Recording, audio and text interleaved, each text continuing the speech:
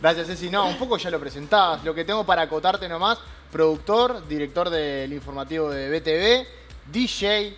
La verdad que tiene varias, varias anécdotas para, para contarnos y es un gusto tenerlo acá, que es también un compañero de la casa, con buscadores estuviste como 4.500 programas, una sí, cosa así. Sí, sí, sigo, sigo menos, pero bueno, buenas tardes. Buenas tardes. Gracias por la invitación. eh, Nubel, eh, felicidades, Nubel.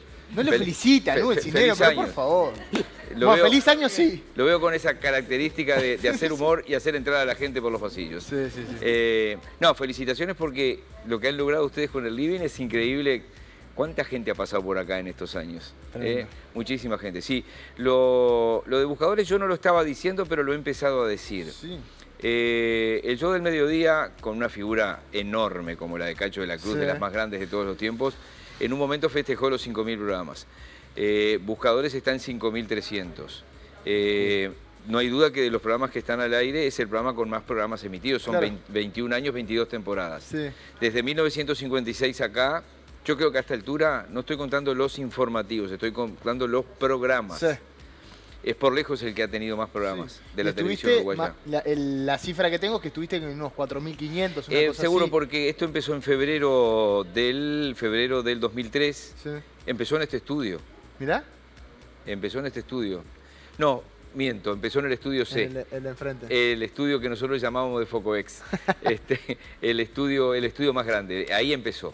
Ahí empezó en febrero del 2003. Y sigue todavía. Yo, por ejemplo, mañana jueves, este jueves yo estoy conduciendo, por ejemplo. Pero estoy una vez por semana, dos no me da, no me da, no me da la vida.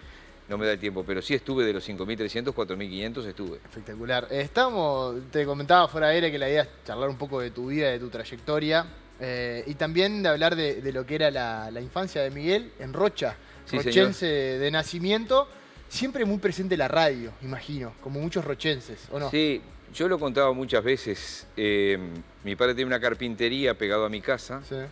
Y en esa carpintería yo con 12 años me armé una radio. Una radio que le robé un rincón a mi padre, hasta que me dejó, obviamente, ¿no? y con mamparas, había madera que sobraba la madera obviamente en una carpintería. Me armé dos estudios, teníamos un tocadisco de plástico, hicimos una consola que no era una consola, era una caja con botones, un micrófono que sería un palo de escoba y, ahí transmitíamos. Transmitíamos, transmitía yo para, para mí mismo, ¿no? Claro, claro, claro. Para mí mismo. ¿Y qué recordás de eso? ¿De qué temas se hablaban en esos programas? Mirá, yo mi primer recuerdo de la radiotelefonía, creo que alguna vez lo conté, mi primer recuerdo de radio, es decir, ¿qué te acordás de cuando, por ejemplo, cuando murió Kennedy en el año 63, yo tenía cuatro años? No me acuerdo de nada. No, nada, pasó. Los, eh, los argentinos, los porteños del Liberay, este, eh, que está la película Plata Quemada, todo el episodio del Liberay del año 65 fue mi primer gran golpe con la radio. Mi padre tenía en la carpintería una radio a válvula gigante que se escuchaba cuando se apagaba una lijadora, cuando se apagaba eh, una sierra. Viste que las carpinterías son como, como, un aserradero, está permanentemente las máquinas prendidas. Y, yo me acuerdo, eh, estaban escuchando el espectador, que tenía un latiguillo que era a toda hora informa el espectador, a toda hora informa el espectador. Y entonces seguro la policía agarró una policía muy ingenua, 1965, eh, mataron a varios este, agentes, incluso a un comisario, eh, en, ese intento de, llegar al apartamento donde estaban. Los tipos tiraban ráfagas de, metralleta, rebotaban en las paredes, iban cayendo, otros intentaron llegar. Es tremenda la historia. Hay un libro de Abercrombie que tiene un complemento ahora de Leonardo Abercrombie. Este, es una historia tremenda que además dejó a, este, a, varios niños pequeños sin sus padres, que son los, hijos de todos esos policías que murieron y hubo un antes y un después, porque bueno, después vino la guerrilla en la calle, ¿no? Después el crecimiento del ML en Tupamaros, pero mi, gran golpe de radio fue ese. En, casa se escuchaba mucha radio y después un tipo que tuvo mucha influencia, que es increíble pero real, eh, fue Juan Alberto Badía. Juan Alberto Badía hacía un programa en LS10 Radio del Plata de noche, eh, sobre todo en esa década del 70, del 60, del 70, del 80. Las radios uruguayas este, y argentinas tenían lo que se llamaba Canal Libre Internacional. Pues si te fijas en las radios de AM, la gente de tu generación no tiene ni idea de lo que es AM, vos sí porque, porque sos del palo. Pero vos le preguntás a tus amigos, no tienen ni idea. Viste que vos tenés, yo que sé, 770 Oriental, 810 El Espectador, 850 Carve, 890 Sport, 930. ¿Qué es lo que hay ahí? 40 kHz en el medio. A los 20 kHz, en todos esos baches de 20, cada 20 kHz hay una radio argentina. Ah, mirá. O tenés Mitre, o tenés este, Radio El Mundo, Splendid, es decir, porque Continental está ya hacia la izquierda, creo que es 590 o por ahí. Entonces, eh, escuchaba ese programa, las radios tenían mucha potencia, claro, ¿no? no había internet. Lo que para escuchar radios internacionales, en la dictadura se escuchaba mucho, mucha radio por onda corta, este, eh, desde la voz de Moscú hasta lo que se te ocurra, ¿no? Eh, y porque seguro, este, increíblemente, escuchabas este, la voz de Moscú y que te hablaba de las dictaduras latinoamericanas y ellos tenían una democracia con los tanques en la calle. Exacto. Una democracia. Eh, y entonces yo escuchaba un programa que se llamaba este, Imagina, porque él era fanático de los Beatles y tenía dos, tres años de creada Imagine de John Lennon. Y Juan Alberto Bian me marcó pero notoriamente, yo eran las 2 de la mañana y mi padre me gritaba desde el dormitorio de él a mi dormitorio que me durmiera porque yo tenía que entrar al liceo a las 7 de la mañana, a las 7 y media de la mañana. Sí, sí, sí, me marcó notoriamente. Y ya en el año 75, me cuesta decirlo, pero, o sea que estamos a 49 años, eh, y yo no estoy viendo monitores, pero había, hay alguna foto mía con algún disco en la mano. primeras experiencias este, radiales. seguro del año 75 en Radio Fortaleza, que era enfrente al Liceo de Rocha, el Liceo 1, que en aquel momento era el no era el uno, era el único, así con apóstrofe, el único en la ciudad de Rocha. Ahí la estamos viendo. Ahí está. Ese disco, por ejemplo, es uno de los tres discos de gusto que el festival del año 69, ah, la, carátula tenía Jimi Hendrix, eh, y año 75, habían transcurrido solo seis años de Gusto y ahí hacíamos un programa con, un queridísimo amigo que vive en Estados Unidos hace más de 30 años, Julio Buciolano, que se llamaba Eclipse Soul. Nosotros teníamos una discoteca que se llamaba Eclipse y eran los primeros años que había eh, en el interior del país y en Rocha ni que hablar, una discoteca. Claro porque nosotros bailábamos con las bandas, lo que le llamábamos orquestas. Las orquestas, sí, se va. era una orquesta que tocaba en un lugar, se juntaban ahí a bailar, pero después... Pero a comienzo de la década del 70 vos ibas a un baile acá con Totem, con Siglo, con Moonlight, con Los Campos, con... Eh, con los delfines y, ibas, a, ibas a bailar, la, música de ellos, exacto. Pero eso después se termina por tema de la, de la dictadura, bueno, sí, se, a ir. El, movimiento de rock se clava de cabeza en el año 74, 75 te diría que en el año 76 explota una banda de, Popo Romano, el Chacho Sarasola, Miguelito mm. Romano, que era Cuobadis, que era una banda de covers impresionante. Eh, año 76, 77 te diría que explotó. Pero hubo un bache ahí que, este, que, que prácticamente hasta que vino el resurgir del rock en el año 85, que ahí es donde sale la nueva generación, aquella ah. de, los estómagos, de los tontos, de, de buitres después de la una, que además tenía todo el contenido reprimido de la, de la dictadura, obvio, que tiene otro tenor también a lo Seguro, que se antes. cambia el estilo del rock también, ¿no? Porque, por ejemplo, eh, eh, si tomas los estómagos o lo que son los buitres ahora, o lo que es la Trotsky, o que es, es un... Eh, se impone más el pan rock. Sí, exacto.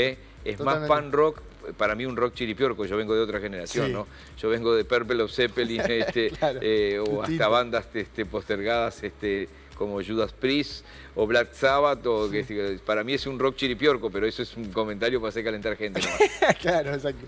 Em, pero ¿qué recuerdos tenés de las primeras intervenciones a nivel radial? Me imagino que hay muchísimas anécdotas, sobre todo en una radio del interior. Claro que, en Radio Fortaleza, ahí está. Se arranca bien temprano y, bueno, con todos los condimentos. Lo, primero que recuerdo es que éramos locutores operadores, por ejemplo. Claro, claro. Locutor operador.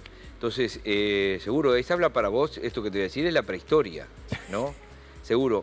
Nosotros, el operador estaba sentado en la cabina y en el caso, por ejemplo, de Difusora Rochense, yo tenía este, cuatro bandejas, ¿no? Cuatro pick-up. Los dos de adelante eran de 78 revoluciones por minuto. Yo no sé si conocés los discos de vinilo. el disco de vinilo son 33 revoluciones y un tercio por minuto. Después los simples, sobre todo los de Estados Unidos e Inglaterra, el de Estados Unidos es el de agujero grande, son 45 revoluciones por minuto. Y los viejos discos, los que le llaman discos de pasta, porque los long plays, los LP, los discos de, son de vinilo, son de plástico, no son de pasta. Claro. El disco de pasta estuvo vigente hasta fines de la década del 40, comienzo de la década del 50. Después es plástico, es vinilo.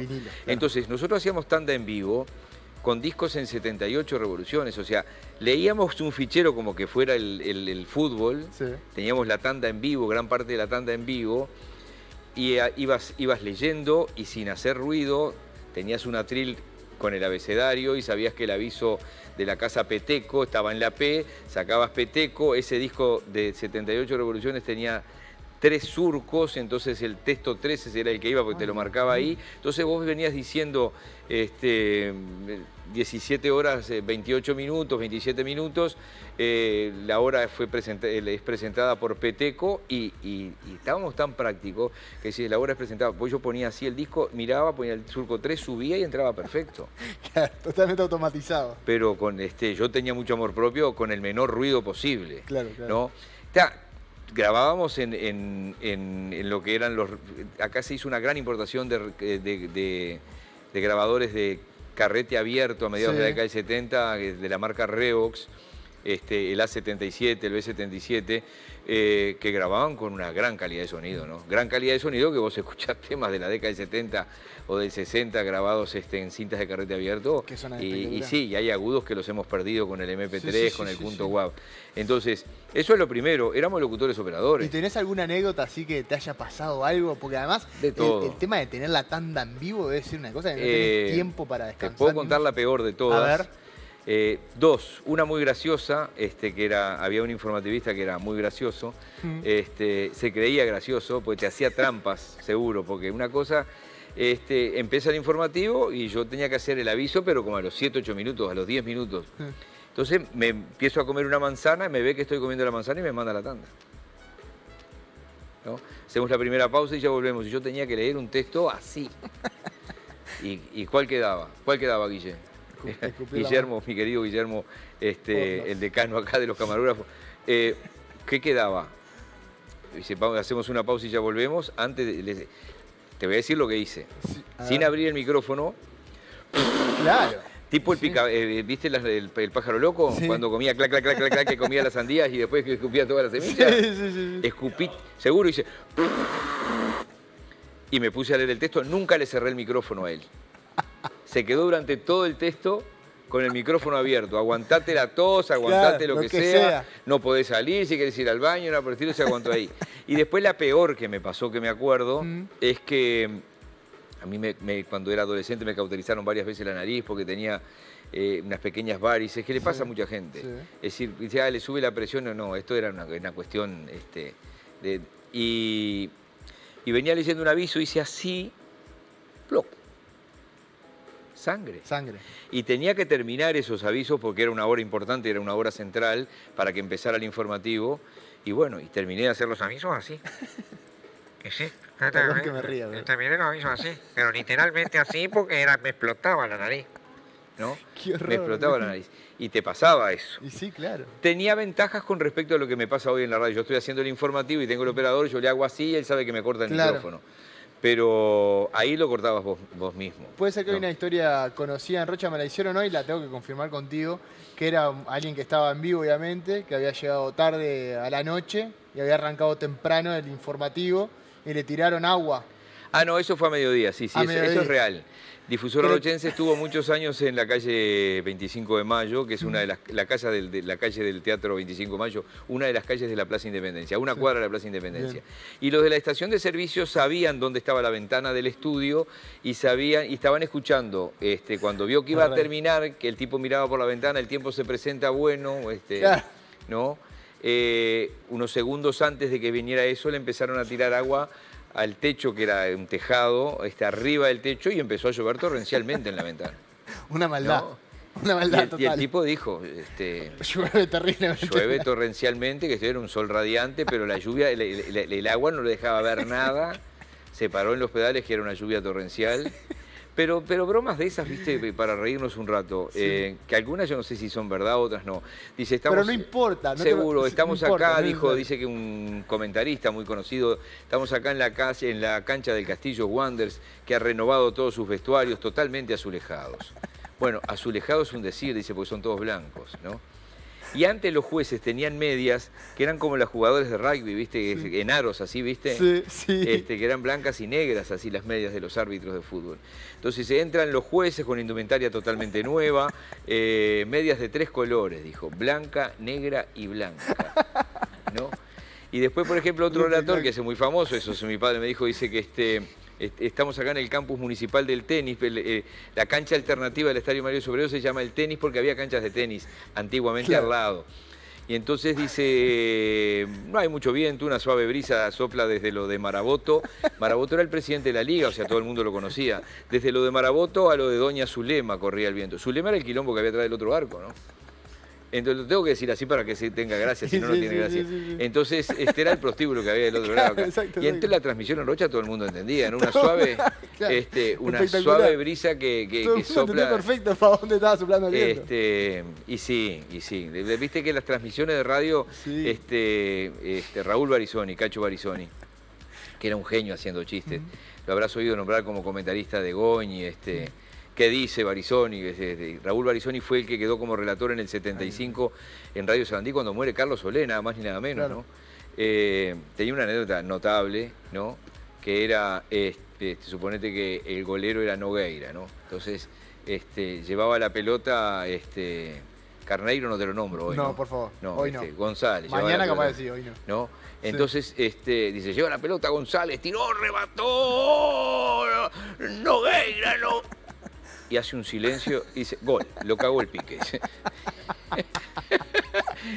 Eh, de, esas cosas hay. Este, a mí me pasó también un día que me pusieron en un puesto para transmitir una, una, carrera de ciclismo. Faltaba alguien ahí que yo no puedo decir nada. Dice, pero te, damos los equipos, decir que pasó, pasó Carneiro y pasó no sé qué, y pasó ahí está, pasó este otro y este otro. Y, y, yo vi que pasaron unos de rojo, ¿viste? Y dije que este la Federación Ciclista de 33, dije no sé qué, qué sé qué el otro. Y el hijo de la madre que estaba en estudios me dice, no, dice, debe ser el Alas Rojas de Santa Lucía porque la Federación de, 33 hoy temprano no largó, me dijo. Yo vi unos de rojo y dije, se pasó 33, ¿viste? Este, no me corrija. Seguro. No sea peleador. No, sea peleador. Claro. Realmente, realmente. pero realmente una cantidad de, historias que obviamente habla de una, trayectoria muy larga, pero tenés algunos mojones que una de ellas es muy, muy gracioso y muy curioso y es Rod Stewart. ¿Lo entrevistaste? Seguro, no, más que entrevistarlo, eh, la cosa es así, en el año 89, febrero del 89, acá hay que recordar que las grandes bandas y los grandes artistas no venían, eso es obvio, ¿no? Acá hay un hito en el año 78 que fueron los Tremelos, los del Silencio es Dorado, para el, veteranaje como yo y mayor que yo que está mirando sabe de lo que estoy hablando, que hizo una actuación afuera de Canal 12 en Enriqueta Conte Enrique, año 68. Después, hasta el 83 que viene Van Halen este, al cilindro, que lo trae Radio Independencia, que fue una bola de ruido, no se escuchó absolutamente nada. Este, yo no estuve, pero... Este, afirman desde afuera... Bueno, está Rijo ahí que te da una bola de ruido. Salió muy bien por FM del Plata, lo transmitió Radio FM del Plata, ahí sonó muy bien y hay alguna grabación debe haber, alguien debe tener alguna grabación de eso. Eh, pero fue una bola de nieve. Después, en el año 85, en enero del 85, viene Yes al campus de Maldonado, ¿no? Viene Yes al campus de Maldonado y no vino más nada, porque se a, ver si Arán Rupeñán, Independencia, se les cayó la avenida de Queen. Queen estaba en gira por Brasil y venía y hubo una serie de problemas allí que, hicieron que Queen no pudiera venir a Uruguay, suspendió toda la gira y no vino. Estaban las entradas impresas, los pósteres impresos, todo. Ahora son, este, los pósteres son flyers. Este, los afiches estaban todos impresos. Claro. En el 89 viene Rod Stewart al estadio. Y con Alexandra Morgan... Eh, que es la esposa de Emiliano Cotelo, pero es ella por ella misma, digo, pero simple. Eh, le este, Ross Stewart llega para la prueba de sonido a las 3 de la tarde al estadio y estaba fascinado con el estadio. Él es del Celtic, es un fanático del fútbol, conocía perfectamente que ahí había sido el primer mundial de fútbol, que era un monumento del fútbol mundial y, bueno, lo llevamos a recorrer. Un desastre el estadio porque la torre de, las comunicaciones, de las comunicaciones, la torre de, los homenajes no se podía ni subir, pero él estaba radiante. Esa foto que capaz que ya pasó, y que yo sé... Ahí está, ¿ves? En esa foto ahí yo tengo 29, el del medio Rod Stewart, él tiene 44, la foto me la saca Ricardo La Cuesta, que éramos los dos encargados de grabaciones de concierto FM en ese momento, año 89, fíjate, ¿no? Estamos hablando de cuánto, 35 años. Sí, claro. 35 años. Eh, así que ahí estábamos en el medio de la cancha y le, hicimos recorrer todo el estadio, ¿no? Recorrer todo el estadio. Después, como, como, como graba... Bueno, ves, este tema, este que están pasando, eh, le generó a él un juicio millonario que terminó donando las regalías a UNICEF. Porque este tema es de, de, de George Bonjo, de, de, de George no me acuerdo ahora si es George Bon George, es un cantante brasileño. Sí. Este, y es este na na na na na na na ah, na sí, na claro, na claro, na, claro. na. Eso, sí. Bueno, él hizo esta canción de ¿Crees que soy sexy? Y lo que hizo fue robar una melodía. Reconoció que le puede haber quedado grabado una vez que fue al Carnaval de Río y le, dio los derechos a UNICEF de esa canción. ¿no? Que en la conferencia de prensa acá Macunaíma, el querido Macunaíma ya desaparecido, le preguntó con respecto a eso, el tipo se para y le pide disculpas. Y la noche anterior este, se le hizo una cena, lo invitaron a un asado, este, Berche Arán Rupeñán, este, en lo que viene a ser la barbacoa del Carrasco Lonteni. Sí, ok. Y entonces ahí este, fuimos con Ricardito La Cuesta, eh, teníamos un DAT. ¿Qué es un DAT? El DAT era un cassette digital audio tape. Era un cassette de, grabación digital, de lectura magnética como un cassette común y corriente, pero ya era audio digital. Y con un micrófono Yamaha, que era lo mejor para salir a la calle que teníamos, le grabamos, le dijimos, le dijimos que cantara a capela Chunais, eh, the Night, o sea, esta noche es la noche hicimos cantar. Seguro, lo hicimos cantar. Y él canta eso y nosotros nos fuimos para la radio y armamos, eh, lo hicimos entrar en tiempo con la canción ah, verdadera. mira. ¿no? Todo a oído, ¿no? Es el disco de vinilo. Claro. Disco de vinilo y carretes de cinta abierta y el DAT.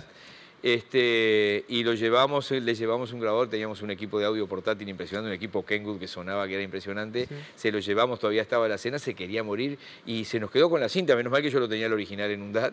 Oh. Este, dijo, it's mine, me dijo que este y que el otro, no se la había tirado o no, pero se la llevó, quedó encantado. Este, eso es una. Después en el 90 vino Clapton, le grabamos a Clapton también. También. Seguro. Eh, cuando digo le grabamos es la mezcla la hacen los yankees. Claro. Lo hacen los gringos. Ellos nos dan este, la mezcla los primeros planos los hacen ellos, nosotros lo que hacíamos, alquilábamos este, micrófonos, el boom de cine, para agregarle en pistas diferentes, agregábamos los aplausos. Es más, alguien se robó la grabación original de Concierto FM de Clapton y hay un disco que, se, que dice, eh, hay un álbum doble en CD que dice Made in este, Roma, este, que es Clapton en Montevideo, eso lo grabamos nosotros. No, no, ganamos ni un peso. no, claro, este, este, Eso lo grabamos nosotros. Pero los gringos también desconfiaban un poco de nosotros. Me acuerdo que con lo de Rod Stewart metimos con Carlitos Bernat, que es el jefe técnico de Canal 4, hoy todavía Carlitos Bernat, metimos una combi a través de tal. Yo no sé si te acordás, Guillermo. Este, y teníamos para grabar, este, grabábamos con un Tascan eh, ATR 700, era un grabador de la San Flauta, este, un Revox PR99 ¿Qué te quiero decir con esto? Grabábamos con cinta de carrete abierto que era, era este, las cintas eran como, como un cassette de ferrocromo. Estoy hablando de la gente que tiene más de 60, 70 años, más de 50. Este, pero ¿qué te quiero decir? Que las, cintas de ferrocromo, lo que era un TDK-SA, un TDK-MA que de metal, esos cassettes, hoy suenan igual que, hace, 50, que hace 40 años. Un cassette VHS, un video home system, se te humedece. Este, pierde calidad. Eh, se deshace. El audio se mantiene intacto. Y nosotros teníamos un DAT para grabar que en Estados Unidos estaban en un lío judicial este, porque se podía hacer una copia directa de los, de los CD eh, con fibra óptica. Fíjate, por primera vez se podía copiar con fibra óptica de aparato a aparato. Y los que habían inventado el CD, que eran la Philips y la Sony, estaban en, juicio con eso. O sea, desde aquellos discos de 78 hasta toda la transición a grabar este, en, un Bernoulli, que era, era un, un, aparato que grababa en digital, a que le metieran un software a una computadora para grabar, ¿eh? Este, o sea que desde la Forte hasta acá lo he visto más o menos casi todo. Absolutamente. Eh, Miguel, te queremos agradecer muy especialmente. Nos quedamos sin tiempo. Obviamente queda pendiente toda la charla que tiene que ver con el periodismo actual, los cambios que hay de las redes sociales, eh, obviamente la función del periodismo, si cambió, si no cambió, pero nos quedamos comprometidos para, para otra instancia. cuando quieran, este, un placer. este rumbo a la tecnología. Este... Un montón de anécdotas que también es lo, lindo de conocer. Ojo, yo sé que es chino antiguo para muchos, pero este, créeme que cuando vos ves un metalero tocando con un Marshall atrás, eh, es porque hay sonidos que hoy los, este, este, no, no, no, no, no se consiguen. Pero lo lindo de esta charla, obviamente, es que a vos te ven todo el tiempo haciendo periodismo y la idea es conocer un poco más de lo que vemos habitualmente, así que Muchísimas gracias y repito las felicitaciones porque han metido en estos años... No, una este, locura. Este, dos años. No, una locución más de dos años, un poco más de dos Sí, años, un ¿no? poquito- no, dos años creo, dos años y poquito, y realmente una cantidad de entrevistas y, y programas también parecido a lo que es Buscadores, pero todavía con, con mucho menos cantidad de programas. realmente. Sí, no, y menos lío que buscadores. Bueno, y te- para toda la gente te pueden seguir en Radio Carven, Informativo En Carve Radio Carve estamos 6 de la Radio. Carve y Radio Cero, que estamos desde las 6 a las Sí. 9. De 7 a 8 salimos por Canal 10. La verdad que estoy saliendo por día entre canales distintos. Pero Es verdad. En Buscadores esporádicamente, Esporádicamente. y en BTV también. BTV Noticias, sí, de 18.35 a 20 horas de lunes a viernes. Excelente. O sea, 18.30 a 20 horas todos los días. Miguel, muchas gracias. No, a vos. minutos.